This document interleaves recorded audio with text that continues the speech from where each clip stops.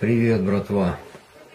По- Постараюсь выражать мысль свою коротко, ясно, без лишних понтов для приезжих. Ну, пацаны, представьте, что Украина это семья большая, живущая по понятиям, нормально вкалывающая на общак, ну, в общем, как положено. Так вот, народ выбрал на общаке донецкого смотрящего. В надежде на то, что батя своих никогда не кинет, не обидит и будет рвать жопу за кожного з нас, як кажуть. Що в итоге вышло? Батя ловит звезду. Засовывают руку по локоть в общак. Берет оттуда бабло, тратит его на кайф. Сына своего пристраивает поближе к общаку. Тот раньше зубником работал. За три года стал долларовым миллионером, реальным. Почти миллиардер. Это по официальным данным. Бабам, батя нашим, срок поднял на пятерочку до выхода на пенсию. Решил, чтобы они еще поработали пя- пятерочку на благо общака в этой жизни. Ну, барыгам, короче, налог влупил непонятный. Короче, всех пос- послал откровенно на юг. Ну, братва поднялась. Сначала пыталась его вразумить. Со- собрались на сходняк. Хотели разрулить эти непонятки. Ну, он, короче, не захотел слушать. В тупую отхуярил малолеток. Короче, пошел по беспределу. В общем, сейчас идет с ним реальная война.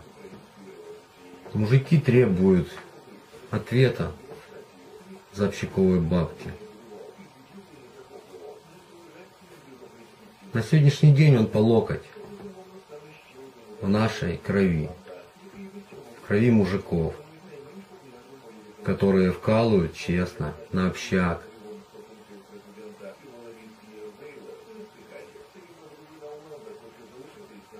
Он начал первый. Его просили по-хорошему.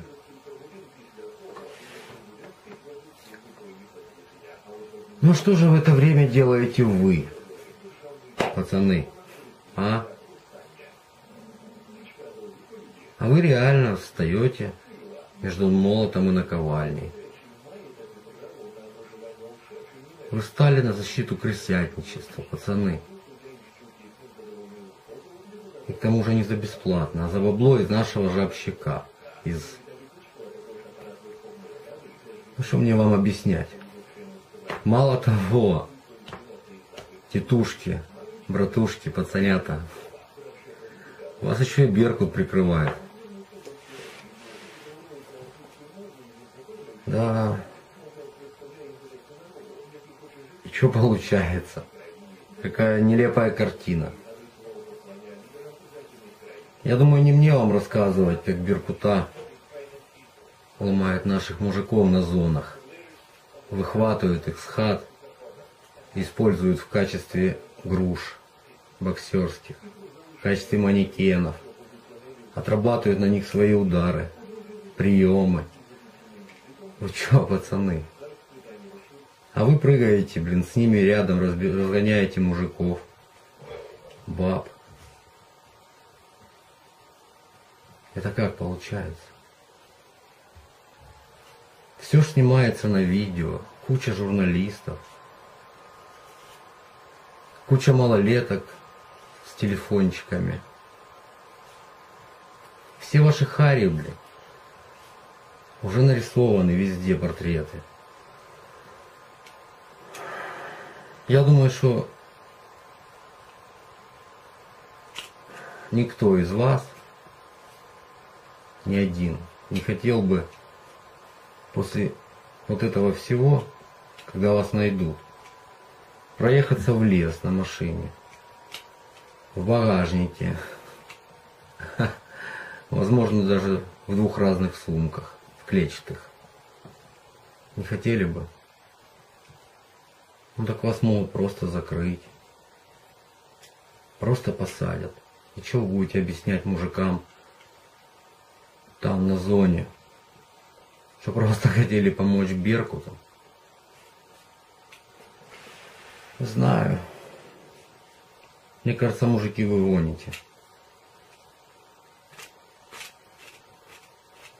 Подумайте, надо ли это вам. Давайте, берегите себя пока.